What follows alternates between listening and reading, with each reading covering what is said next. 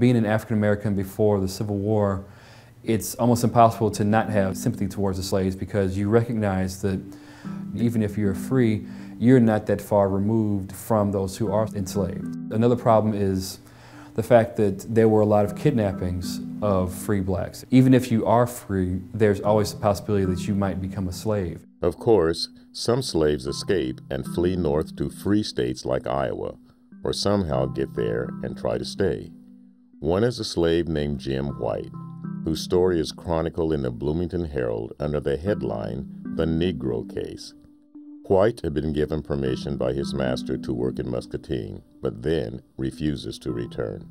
So his master sends agents to Muscatine to try to bring him back. And White takes refuge in Clark's home. Muscatine wasn't a big city and the black population was small, so it's likely that they knew each other just because they were both black in the same sort of mid-sized town. The bounty hunters try to trick Clark into handing White over, so they say, you know, they, they pose as abolitionists and they say, you know, we're going to help get Jim White to Chicago. So we're going to meet you on the other side of the Mississippi River. We want, you, we want you to row him across and then we'll take him the rest of the way.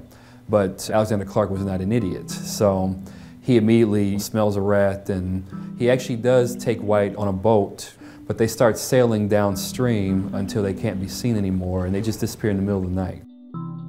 The end result of the case is that White never goes back to Missouri. He spends, you know, many years living in Muscatine as a free man after that, mainly because Clark came to his assistance.